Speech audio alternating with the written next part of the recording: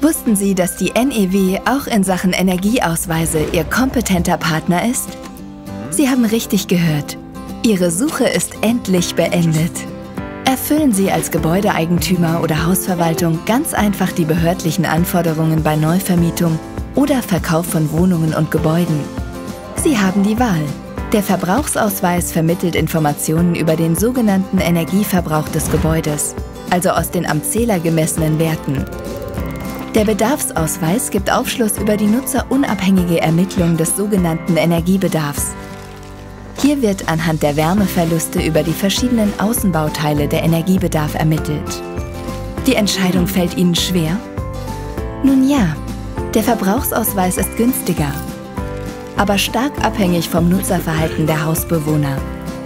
Der Bedarfsausweis dagegen ist unabhängig und kann nach späteren energetischen Modernisierungen kurzfristig und kostengünstig aktualisiert werden. Doch ganz gleich, welchen Energieausweis Sie wählen. Beide erfüllen die behördlichen Anforderungen und sind zehn Jahre gültig. Nur für Gebäude mit 1 bis 4 Wohneinheiten und einem Bauantragsdatum vor dem 1.11.1977 gibt es keine Wahl. Hier muss der Bedarfsausweis her. Übrigens, gemischt genutzte Gebäude benötigen für Wohnbereiche und Gewerbebereiche separate Ausweise.